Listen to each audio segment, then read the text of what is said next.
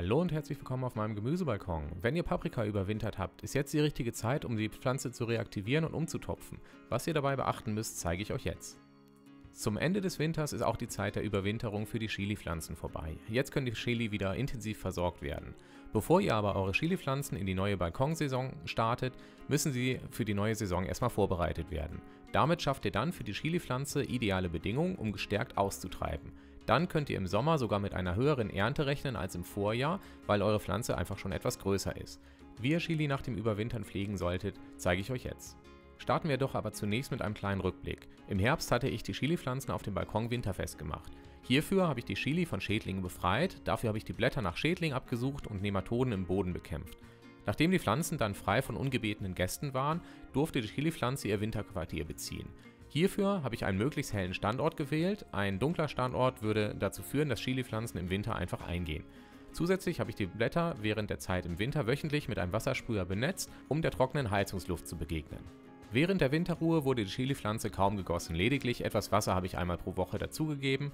Das ist wichtig, da auch die trockene Heizungsluft die Erde schnell austrocknet. Gedüngt habe ich auch in der ganzen Zeit nur einmal mit etwas Flüssigdünger. Trotz der geringen Versorgung wuchs die Pflanze trotzdem kräftig.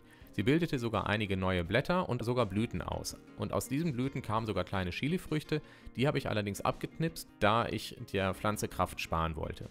Zum Ende des Winters beginnt für die Chili die neue Anbausaison. Bevor die Chili wieder auf den Balkon gesetzt werden, müssen sie aber noch richtig gepflegt werden.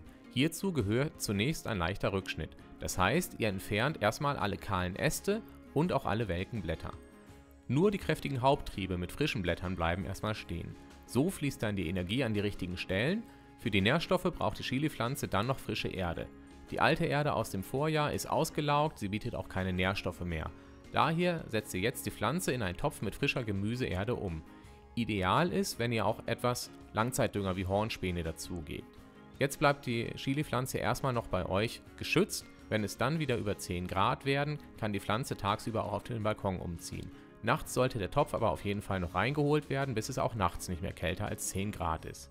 Wenn die Pflanzen dann draußen auf dem Balkon sind, brauchen sie wieder intensive Pflege. Das heißt, sie brauchen als Starkzehrer regelmäßig Dünger. Alle zwei Wochen etwas Flüssigdünger ist da ganz geeignet. Natürlich auch viel Gießen und einen ganz hellen Platz mit viel Sonne. So treibt eure Chili dann schnell aus und da sie jetzt einen Wachstumsvorsprung hat gegenüber den Jungpflanzen aus den Vorjahren, könnt ihr auch sehr viel schneller mit einer größeren Ernte als im Vorjahr rechnen.